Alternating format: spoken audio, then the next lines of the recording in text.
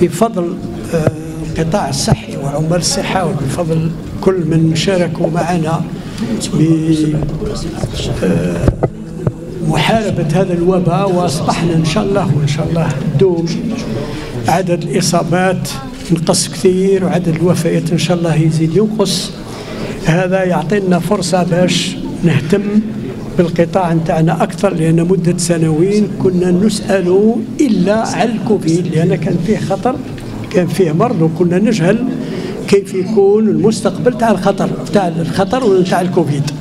إن شاء الله حتى ويعاود يرجع وترجع موجة كما الموجة الرابعة حاربناها بفضل التجربة اللي حصل عليها القطاع الصحي. حتى وتكون موجة وما نتمناش تكون موجة ميته قدر الله تكون موجة عندنا التجربة اللازمة باش نواجهوا هذه الموجة. لكن حاليا انطلقنا في العمل بالنسبة للاستعجالات بالنسبة في عمل آخر مهم جدا جدا وانطلقنا فيه وعندي موعد غدا إن شاء الله ب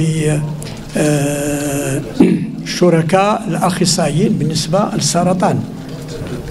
لأن كان من صلاحياتنا وكان من عملياتنا وكان من توصيات سيد رئيس الجمهورية بالنسبة للسرطان.